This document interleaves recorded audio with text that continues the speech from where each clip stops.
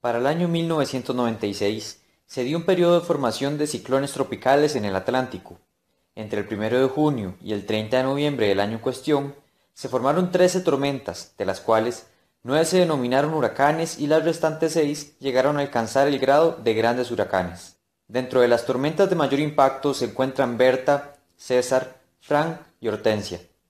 El huracán César específicamente cobró la vida de 51 personas en la parte norte de América del Sur y América Central. El huracán que protagoniza esta historia se originó en área venezolana, el 25 de julio y tres días después toca tierras centroamericanas, provocando un total de 37 muertes, 2 en Panamá, 22 en Costa Rica, 4 en Nicaragua y 9 en El Salvador. De los 22 fallecidos en territorio nacional, 11 fueron víctimas del deslizamiento en el llano de la piedra de Tarrazú. Para las primeras horas del sábado 27 de julio del 96, en los noticieros informaban sobre la inminente amenaza del huracán César, el cual se aproximaba a tierras centroamericanas. Sin embargo, el cielo permanecía despejado, al menos en la zona de Los Santos. No obstante, entre las 4 y las 5 de la tarde ya empezaba a notarse la violencia y rapidez con que el cielo se oscurecía y empezaba a llover. A las 11 de la noche, el estruendo del agua contra cafetales, calles y casas era alarmante, tanto así que testigos del evento comparaban el sonido del aguacero con el de fuertes latigazos, y esto se acompañaba con el golpe de materiales que arrastraban los caudales de ríos y quebradas anteñas. A la una de la mañana, algunos vecinos habían salido de sus casas, como es el caso de doña Livia y doña Irene, y quienes habitaban donde los mata, a reunirse con otros pueblerinos que ya temían que las advertencias de que caería un terraplén se volverían una realidad. Algunos se reunían en la ermita de la comunidad, otros en casas. A las cinco de la mañana Rita Monge, en nombre de la Comisión de Emergencias, llegaba a indicar a los vecinos que debían desalojar las casas, pues era muy peligroso que cayera el barranco. Esa misma mañana de 28 de julio, la lluvia había arreciado, pero la alcantarilla que se ubica donde actualmente está la lechería, que para ese entonces era propiedad de Toño Mata, estaba cercana a colapsar, por lo que la incertidumbre invadía a los habitantes del llano de la piedra y llamaba la atención de un grupo de amigos entre quienes se encontraban Gustavo Fallas, Álvaro Enrique Fallas, Rubén Monje Vargas y Luis Carlos Calderón, conocido como Japo, quien después de despedirse de sus acompañantes, y según la versión de testigos, se dirigió a conectar una batería a la antena para poder ver el partido entre la Liga Deportiva Alajuelense y Cartaginés, justamente el juego de vuelta de final de Campeonato Nacional. Sin embargo, este partido se trasladó para el 30 de julio a las 8 de la noche por malas condiciones climáticas.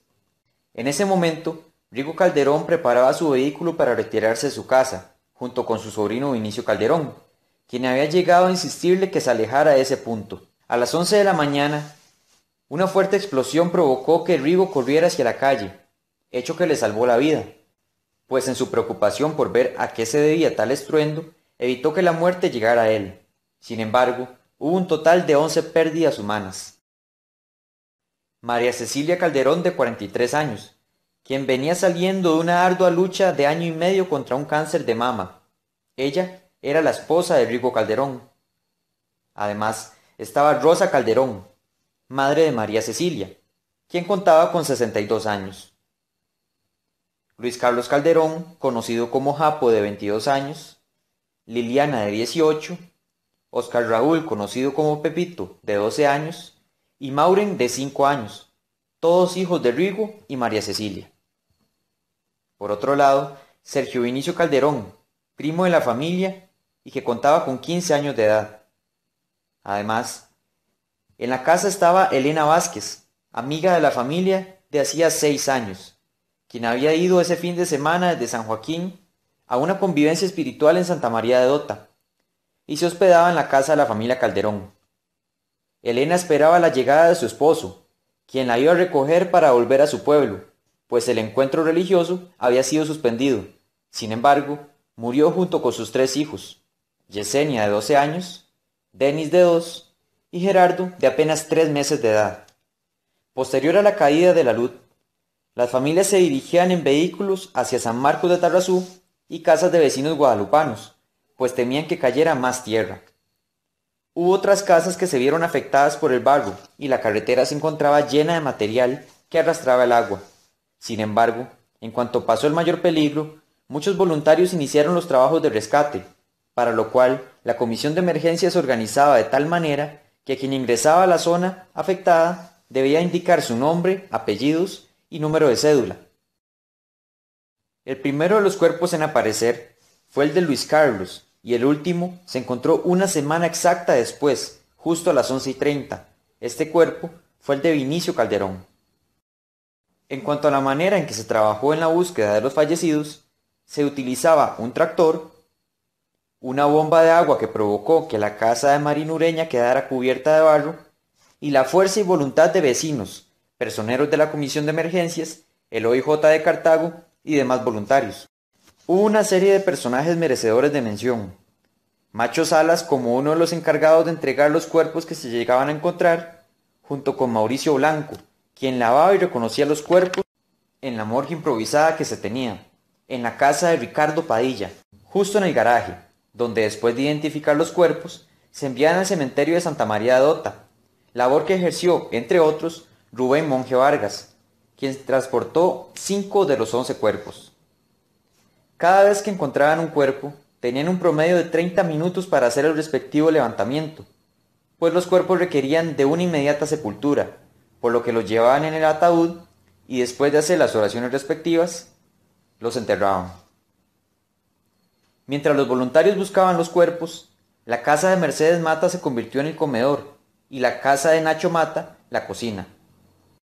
Para satisfacer la demanda, empresas de San José y otras más cercanas hacían donativos, así como vecinos, además de que quien no ayudaba en labores de rescate lo hacía en preparación de alimentos, como es el caso de Mayo Solís. Una de las empresas que ayudaron fue la Coronado, y según datos de testigos, llegaron con una gran cantidad de bolsas, de las que se usaban en ese tiempo para empacar leche.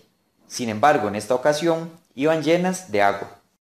Paralelo a esto, en Santa Cecilia de Tarrazú también hubo problemas, pues la carretera se falció, y en el Bajo San Juan hubo un terraplén desde la entrada del Camino a los Perros hasta la vuelta del tubo, además de que una casa fue arrastrada por completo en las cercanías del puente que está camino a la sabana de Tarrazú. Han pasado 20 años desde este acontecimiento, pero se convirtió en algo inherente para vecinos del Llano de la Piedra de Tarrazú y para muchos otros anteños, pues sin duda, este fue uno de los acontecimientos más impactantes en la historia reciente de la zona de los Santos.